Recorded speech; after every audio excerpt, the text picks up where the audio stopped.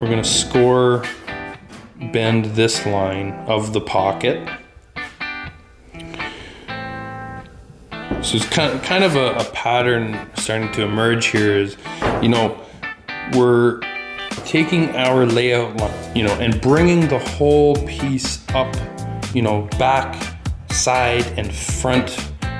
folds up together as one. That's kind of the idea between behind these details is we're, we're bringing them up all together as one and these pocket folds allow us to connect the side seam with the chimney